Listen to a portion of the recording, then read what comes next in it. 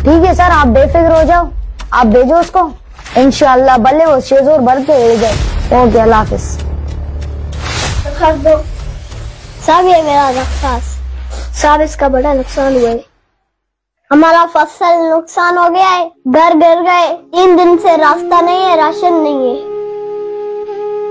सब मेहरबानी करो कुछ करो। बड़ी परेशानी है। बात सुनो। ये कौन सी पार्टी से? है? इस पार्टी से। अच्छा अच्छा इस पार्टी से हाँ। जाओ, तहसीलदार को दो विज़िट करेगा रिपोर्ट बनाएगा सर्वे करेगा, फिर देखते हैं। सब दिन दवा विज़िट करेगा। सबको पता है, हमारे गाँव में नुकसान हुआ है। जानवर गए, फ़सल गया फिर भी रिपोर्ट बनेगा। आपने पीने को सामान दिया, हमारे गाँव के लिए। उसने सब अपना औताक में रख लिया आप अभी जाओ तहसीलदार के पास फिर देखते हैं। फिर क्या देखेगा? रखो अपने पास। गरीबों का आला मालिक है।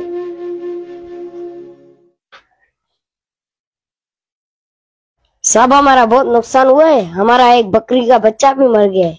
साहब ये पहले भी दो दफ़ा ले गया है। अच्छा कौन से पार्टी का ये? उस पार्टी का है। अच्छा उस पार्टी का है हाँ?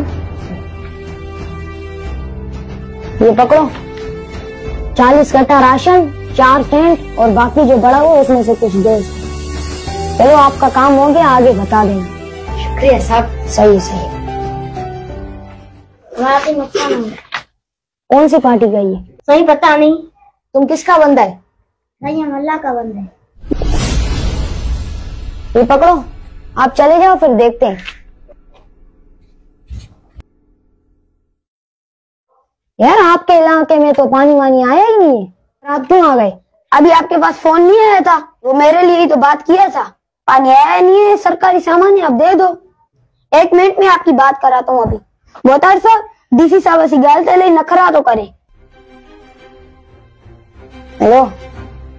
Sir sir sir sir. कैसे हैं आप? खैरियत से? तबीयत सही ठीक ठाक सर, आपने क्यों काम का तकलीफ़ की? सर, ये हमारा ही बच्चा है। दो शेजोर दे दूँ, सर? जी जी, सर, सही है, सर। अल्लाह हाफिज, सर। बख्तार, आप पहले ही बता देते, खाम का साहब को तकलीफ़ दी आपने। आओ, गोदाम में जितना चाहिए ले जाए जाओ। साहब, इसके इलाके में तो कोई नुकसान हुआ ही नहीं है। तुम जाओ यार, काम करो। खाम खाम लोग को जो है ना, इधर से ट्रांसफ़र कराओगे। बेटा, आप जाए, जितना चाहिए ले जाओ जाओ।